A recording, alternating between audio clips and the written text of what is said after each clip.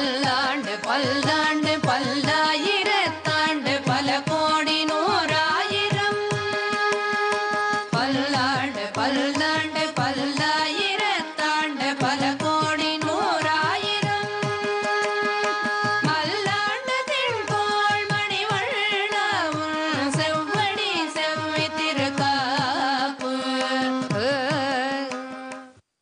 மத்குருசமாரம்பாம் யதிசேகரமத்யமாம்.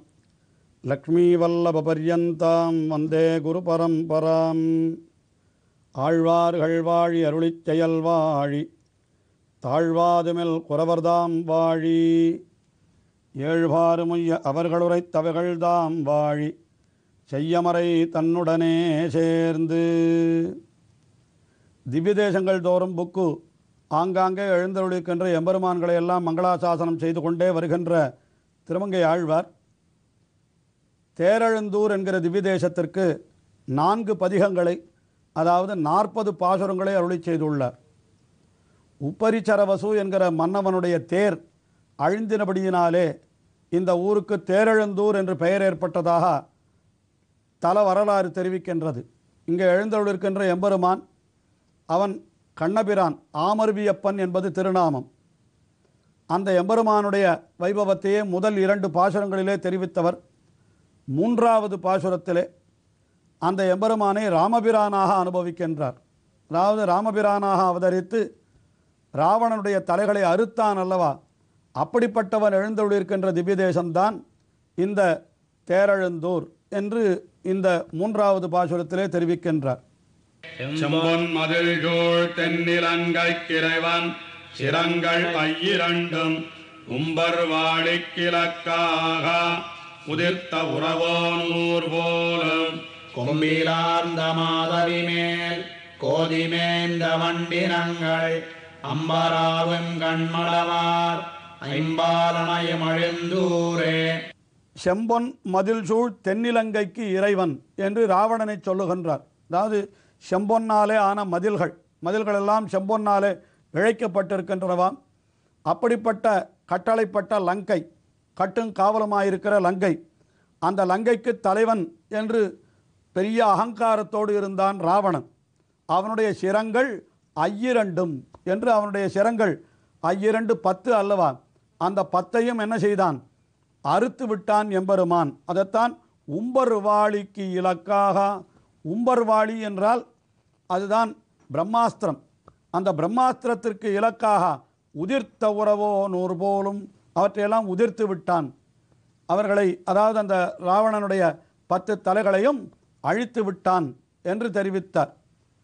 அப்படி அழித்தவன் என்ன செய்தான் என்றால் மேலே அவனை தெரிவிக்கின்றார்.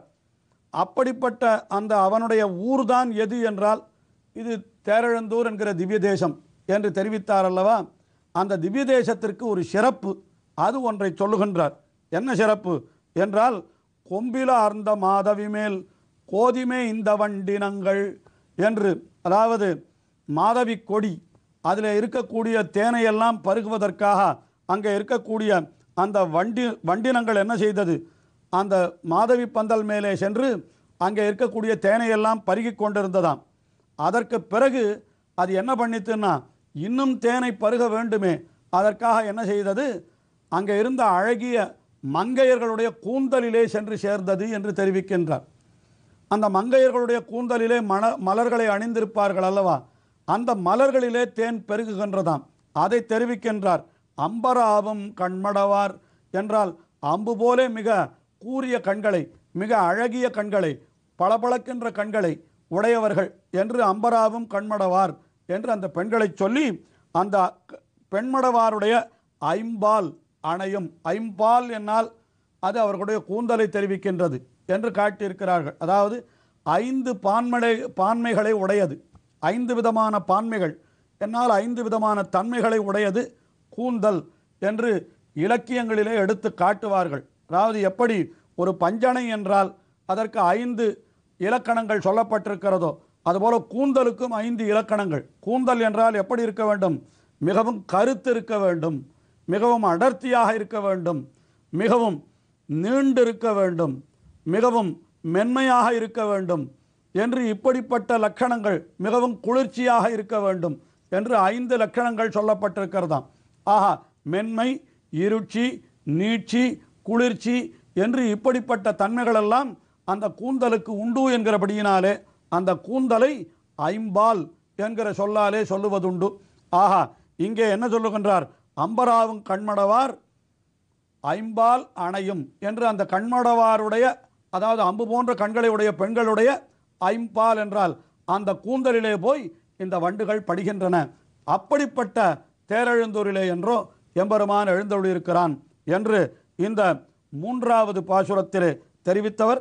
அடுத்தபடியாக நான்காவது பாசுரத்தில் என்ன தெரிவிக்கின்றார் என்றால் பிரளய காலத்தில் இந்த உலகத்தையெல்லாம் அப்படி காப்பாற்றினவன் அப்படிப்பட்ட தன்னுடைய தன்மையாலே அவன் என்னுடைய நெஞ்சுக்குள்ளே வந்து புகுந்தான்.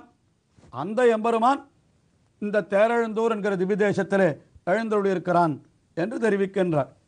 வெள்ளத்துள்ளோர் மேவி அழியேன் மனம் புகுந்து என் உள்ளத்துள்ளும் கண்ணுள்ளும் நின்னார் நின்ன ஊர் போலும் உள்ளு பிள்ளைக்கிறதேடி. போன காதல் பெடையோடும் அள்ளல் செருவில் கயல் நாடும் அணியார் வயல் சூழழுந்தூரே வெள்ளத்துள் ஓர் ஆலிலை மேல் என்றால் பெரிய பிரளயம். அது தண்ணீர் வெள்ளமானது செல்லுகின்றது. அதிலே ஒரு ஆலிலையிலே சயனித்து கொண்டு உலகத்தையெல்லாம் தன்னுடைய வயிற்றுக்குள்ளே வைத்து கொண்டிருந்து ரட்சித்தான் அல்லவா எம்பெருமான். இப்படிப்பட்ட தன்னுடைய உயர்ந்த செயலாலே என்னுடைய உள்ளத்தையும் கவர்ந்து மேவி அடியேன் மனம் புகுந்து என் உள்ளத்துள்ளும் கண்ணுள்ளும் நிற்கிறார். நின்று நீங்கார் என்று ஒருபொழுதும் என்னுடைய உள்ளத்தை விட்டோ என்னுடைய கண்ணு கண்களை விட்டோ நீங்காமல் எப்பொழுதும் நின்றார் நின்ற ஊர். அப்படிப்பட்டவர் எழுந்தொழிருக்கிற திவ்யதேசம் எது என்றால் அதுதான் தேரெழுந்தூர் என்கிற திவ்யதேசம் என்று தெரிவிக்கின்றார். அந்த திவ்யதேசத்திலே ஒரு இயற்கை காட்சி அதை மிக அழகாக வர்ணிக்கிறார்.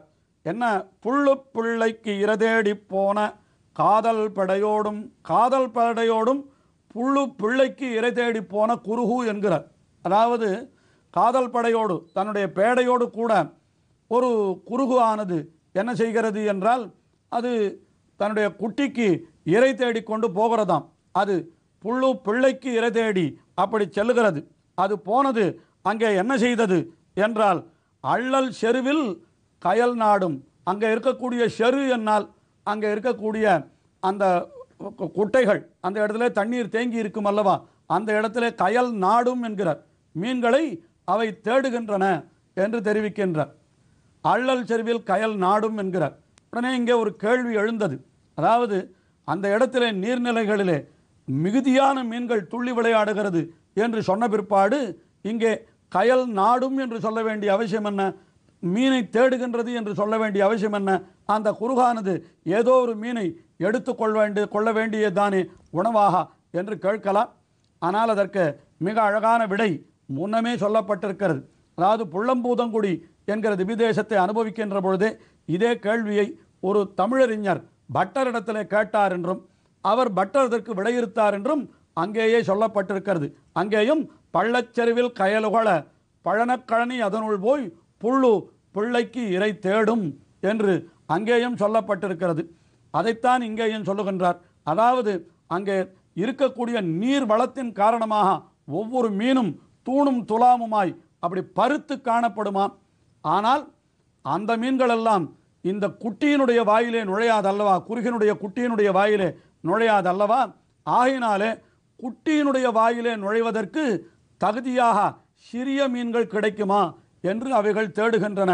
அதுதான் இங்கேயும் கூட புழு பிள்ளைக்கு இறை தேடி போன காதல் படையோடும் என்று பிள்ளைக்கு இறை தேடி என்று சொல்லப்பட்டிருக்கிறபடியினாலே அது தன்னுடைய குட்டிக்கு உணவாக இருப்பதை தேடுகிறதே தவிர வேறொன்றில்லை என்று இதைத்தான் இந்த பாசுரத்தினுடைய பொருளாக அது நாம் அறிய வேண்டிய பொருளாக இங்கே காட்டியிருக்கிறார்கள். ஆக எப்படி அந்த தன்னுடைய காதல் படையோடும் அந்த குறுகானது குருகானது தன்னுடைய குட்டிக்கு சரியான இரையை தேடி அந்த குட்டியை காக்க நினைக்கிறதோ அதுபோல பிராட்டியோடு கூடின எம்பெருமானும் கூட என்ன செய்கிறான்? இந்த உலகனைத்தையும் காக்க வேண்டும் என்பதற்காக அவைகளையெல்லாம் ஒரு பெரிய பிரளயம் வந்த பொழுது கூட ரட்சிப்பதற்காக தன்னுடைய வயிற்றுக்குள்ளே வைத்துக்கொண்டு ரட்சித்தான் என்று இப்படி இருக்கின்ற எம்பெருமான் அவன் தன்னுடைய இந்த செயலாலே அதாவது இப்படியெல்லாம் உலகத்தையெல்லாம் காத்த அந்த பரோபகாரமான அந்த உயர்ந்த செயலாலே அவன் என்ன செய்து விட்டான்?